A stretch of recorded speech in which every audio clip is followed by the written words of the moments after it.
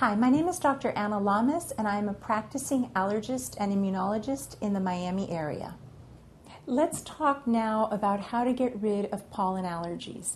Pollen allergies are prevalent throughout the United States and, very interestingly, depend completely on where you live as far as what season the pollen allergy is present in.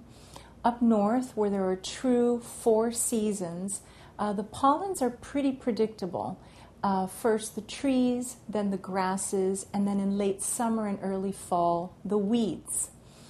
The pollen allergy is a very interesting phenomenon because, first and foremost, is reduction of exposure. Obviously, this is a very difficult thing to do because nature is nature, and when the pollens are out, there isn't much we can do in terms of altering that.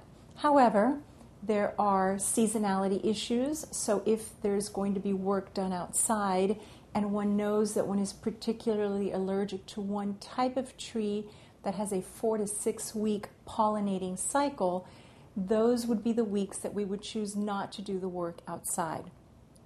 As far as other types of reduction of exposure, we would not go for our morning walk early in the morning when pollen counts are at their highest.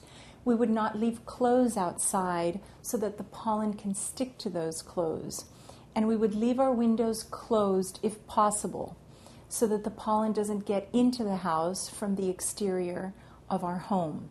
Obviously, in some parts of the United States where the weather is pleasant, people open their windows.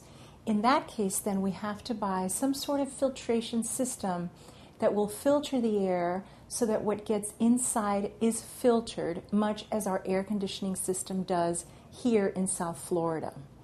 As far as South Florida pollens are concerned and how we can avoid them, it's a little bit of a different uh, phenomenon. We have pollen all year long, so our exposure issues are persistent even in our winter.